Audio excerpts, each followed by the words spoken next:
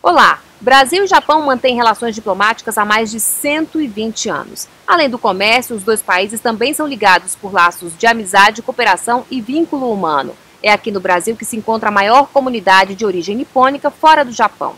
É sobre esse assunto que vamos conversar no programa de hoje. Fique com a gente. O NBR Entrevista começa agora.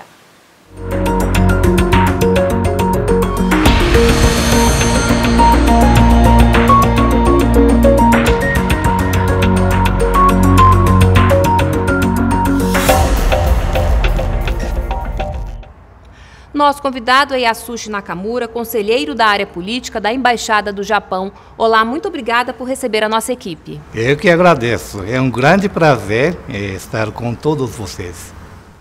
Bem, antes da nossa conversa, nós vamos assistir a uma reportagem da TV NBR sobre Brasil e Japão, esses dois grandes parceiros comerciais. Duas das dez maiores economias do mundo, Brasil e Japão também são importantes parceiros nos negócios. O comércio entre os dois países atingiu quase 10 bilhões de dólares no ano passado. O Japão foi o sexto país com maior fluxo comercial com o Brasil em 2015. O Japão continua sendo um centro industrial importante, um grande consumidor de matérias-primas importantes que, de certo modo, no Brasil tem abundância. Ah, também a extensão territorial do Brasil permite produção agrícola né, em, em, em larga escala eh, de, de, de produtos que para o mercado japonês é muito importante. O Brasil vende principalmente produtos básicos como minério de ferro, milho e carne de frango, mas também exporta produtos como aviões e alumínio bruto. Nas importações, destaque para automóveis e peças para veículos. O saldo tem sido equilibrado, o ano vai positivo para o Brasil, o ano vai positivo para o Japão. O potencial de crescimento, contudo, ele é bastante significativo. Terceira maior economia do planeta, o Japão também é um dos países que mais investem no Brasil. Só no ano passado, os investimentos diretos do país asiático alcançaram 2 bilhões e 800 milhões de dólares. Aumentar os negócios também é a expectativa do Japão, é o que diz o embaixador em exercício do país no Brasil.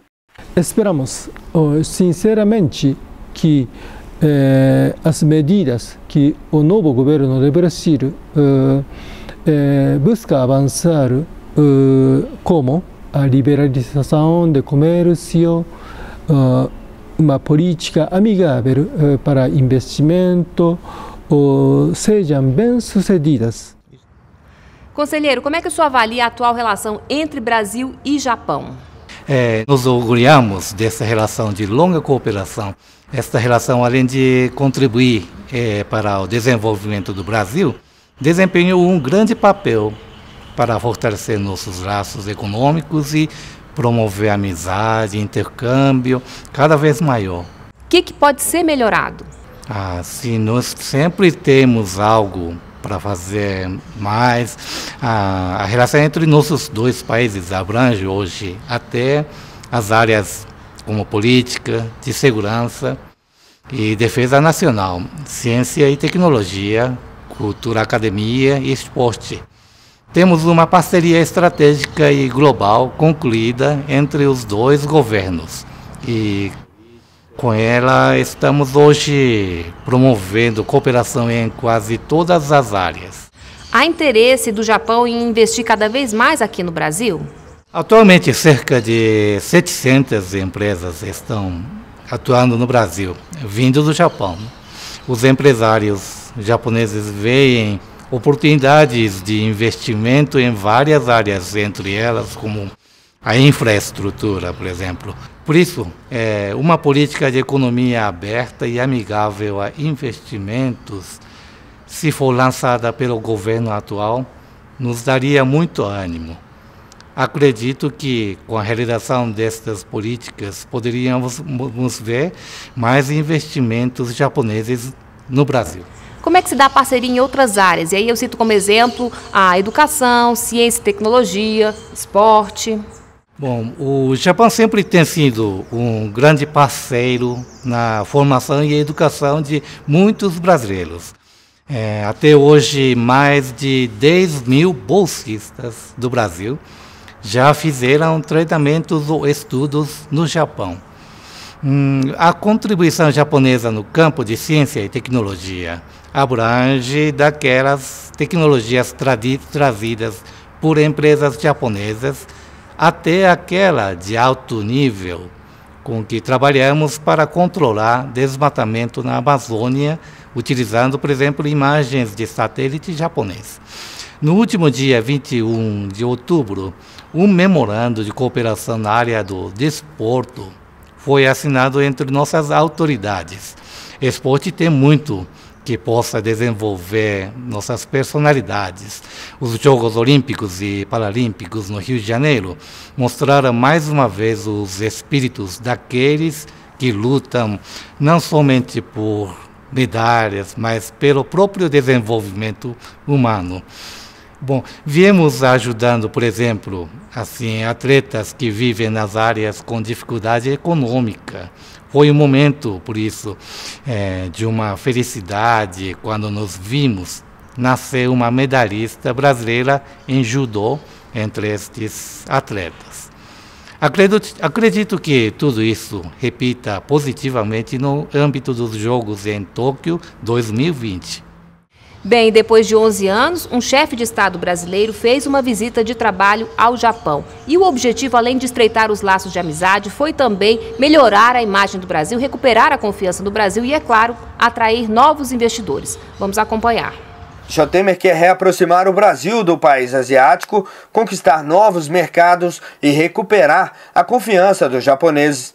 Em Tóquio, ministros brasileiros apresentaram aos investidores as mudanças do cenário político e econômico. Essas visitas é, servem para que os, o presidente Temer e os ministros mostrem que nós estamos mudando, que nós temos um foco, esse foco é, é resolver a crise econômica e temos uma meta que é buscar o equilíbrio fiscal, dar uma tornar as contas públicas mais saudáveis para criar um ambiente favorável ao crescimento e à geração de emprego. Os ministros também apresentaram aos japoneses os projetos para concessão em áreas como exploração de gás e petróleo, mineração, usinas hidrelétricas e companhias energéticas. Para o governo, o Brasil precisa de recursos da iniciativa privada para melhorar a infraestrutura.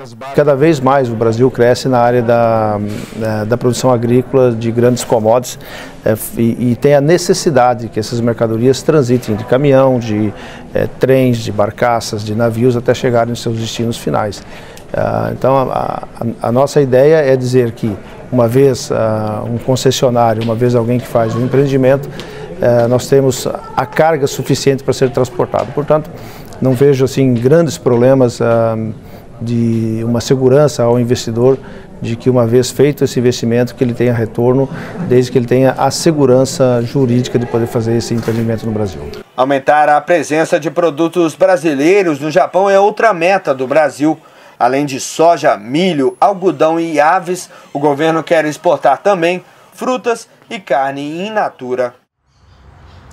Do ponto de vista político e econômico, que balanço a gente pode fazer dessa viagem feita pelo presidente Michel Temer ao Japão? Eu trabalho com o Brasil há mais de 30 anos agora e nos últimos desses é, eh, 11 anos até estranhei como não ocorreu é, nenhuma visita presidencial ao Japão. Enquanto isso, o nosso primeiro-ministro do Japão visitou aqui, por exemplo, em 2014, e mais recentemente participou também, é, neste agosto, o, do encerramento dos Jogos Olímpicos do Rio de Janeiro 2016. Nós temos em comum, agora, é, valores fundamentais como liberdade, democracia, promoção de direitos humanos e supremacia de direito. Esses valores sustentam e possibilitam nosso diálogo, sempre positivo. Agora, esta visita presidencial ao Japão foi valorosa também hum, por abrir um diálogo entre nossos empresários japoneses e o senhor presidente Temer. Os empresários manifestaram apoio a reforma política e econômica declarada pelo novo governo do Brasil. Além da parceria nos negócios, eu acredito que há outros interesses comuns entre os dois países. O que, que o senhor poderia destacar para a gente? O mundo precisa atualizar hoje o seu sistema para enfrentar novas realidades. Em relação a esta questão de governança global, o Brasil e o Japão têm bastante vocação e responsabilidade, especialmente, por exemplo, no sentido de estabilizar a economia globalizada e manter a paz em todos os cantos do mundo. É, assim, nos viemos colaborando especialmente para a reforma do Conselho de Segurança da ONU. A recente visita presidencial do Brasil é, foi uma boa oportunidade para os dois líderes confirmarem isto mesmo. Tá certo, conselheiro. Vamos agora fazer um rápido intervalo. Até já.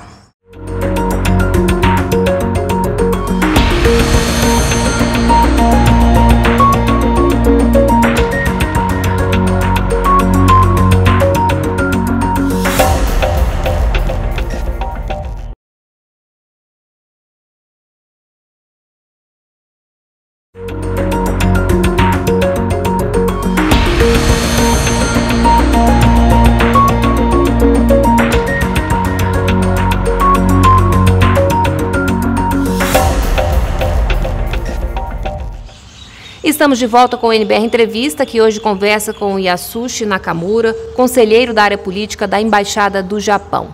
Brasil e Japão mantêm relações diplomáticas há mais de 120 anos. É o que a gente vai conferir em uma outra reportagem da TV NBR. Parceiros tradicionais, Brasil e Japão têm hoje relações estratégicas a nível global. Distantes e diferentes, os dois países comemoraram no ano passado 120 anos de diplomacia, uma ligação centenária que vem desde 1895, quando assinaram o chamado Tratado de Amizade, Comércio e Navegação. Essa história, que levou à imigração de milhares de cidadãos do país asiático ao Brasil no século passado, é contada no Museu da Imigração Japonesa, em São Paulo. A imigração no Brasil se constitui hoje a concentração maior dos imigrantes do Japão fora do país, né? isto é, no estrangeiro. Então, tem um significado muito grande. A maior parte dos japoneses se estabeleceu em fazendas de café no interior de São Paulo e no Paraná. Com o tempo e os filhos, a comunidade cresceu.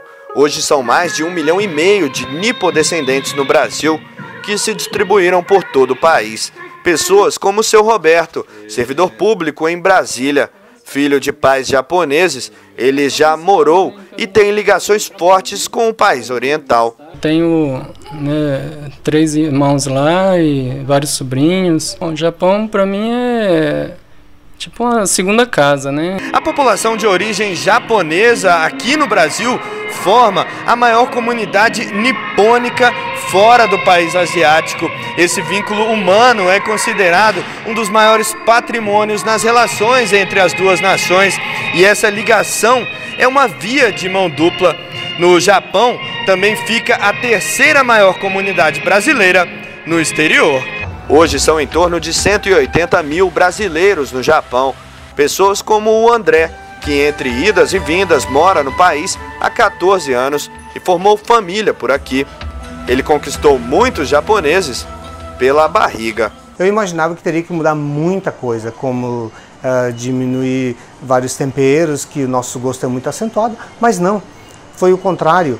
Os japoneses eles aceitam muito bem isso e a nossa carne, que ela é muito parecida com a do Rio Grande do Sul, onde a gente serve aqui, para os japoneses é o paladar deles. A clientela é fiel e se sente em casa. A Maria, japonesa, se interessa muito pelo Brasil. Os dois países ficam muito longe, mas assim, a, a gente se sente muito pertinho. Já a Andréia mora aqui há menos tempo, são dois anos de Japão. Ela tem origem japonesa, mas veio para visitar parentes, só que foi ficando e por enquanto não pensa em voltar. Aqui eu estou conseguindo, né, é colocar minha vida assim num, num questão financeira, trabalho, é, melhor, melhorar cada dia, né?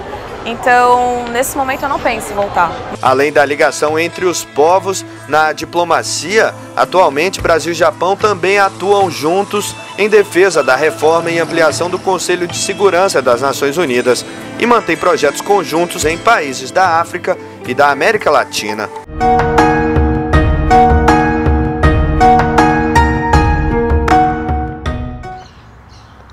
Bem, conselheiro, inicialmente os imigrantes japoneses vieram para trabalhar nas lavouras de café aqui no Brasil. A ideia era fazer algum dinheiro e voltar para o Japão, mas isso acabou não acontecendo e hoje o Brasil abriga a maior comunidade de origem nipônica fora do Japão. O que, que isso representa? Em 2018, é, daqui a pouco, vamos celebrar 110 anos da imigração japonesa ao Brasil.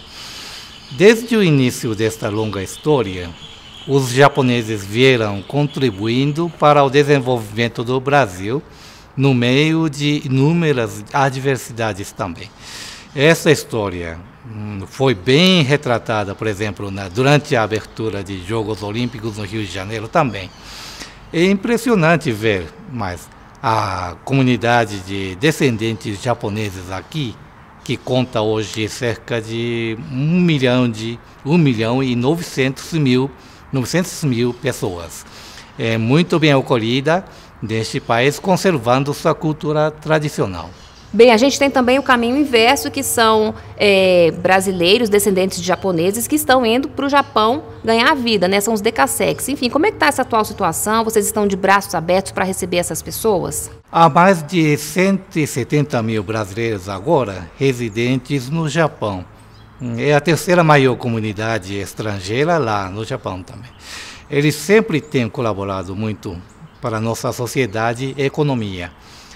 Tanto o governo nacional como os locais e seus povos acolhem bem estes brasileiros e vêm oferecendo uma ampla gama de assistência, como oportunidades de aprender língua japonesa, apoio a matrículas em escolas japonesas informações sobre a vida no Japão e auxílio de tradução para quem estiver em certa dificuldade. E agora o número é, desses brasileiros no Japão chegou a cerca de 320 mil em seu auge, que foi em 2007. Devido a adversidades na economia japonesa e outros motivos, talvez, este número foi reduzindo mas o fluxo ainda continua em escala considerável. Registramos a entrada de 64 mil brasileiros no ano de 2015. Na sua opinião, qual a maior contribuição dos japoneses ao Brasil e também do Brasil para o Japão? Os japoneses hum, trouxeram, junto com a vontade de trabalhar, sua arte e suas crenças, os conhecimentos valiosos que contribuíram para o Brasil e junto com outros povos que vieram a este país de uma diversidade rica, os japoneses formam atualmente um lindo painel multicultural talvez, chamado Brasil mesmo.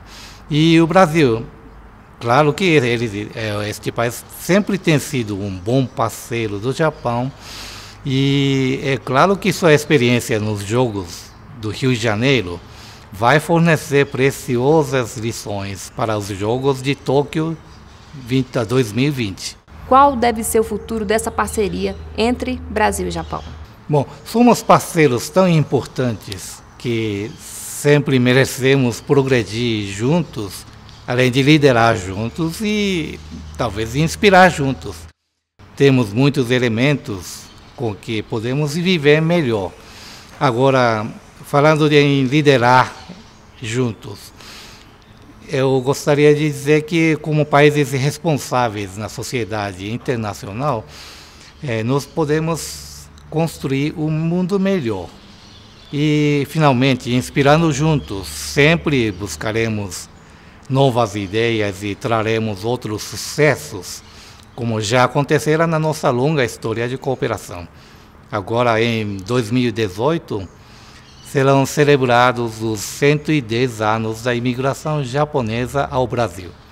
Gostaríamos de aproveitar esta oportunidade para promover ainda mais os intercâmbios entre nossos países. Conselheiro, então, muito obrigada por participar do NBR Entrevista e até uma próxima oportunidade. Muito obrigado. É, foi um privilégio para mim também. Obrigado. Bem, nós ficamos por aqui. Outras informações no site da Embaixada do Japão ou então na página do Ministério das Relações Exteriores. E para rever o programa é só acessar o nosso canal no YouTube. Obrigada pela companhia e continue com a gente na NBR, a TV do Governo Federal.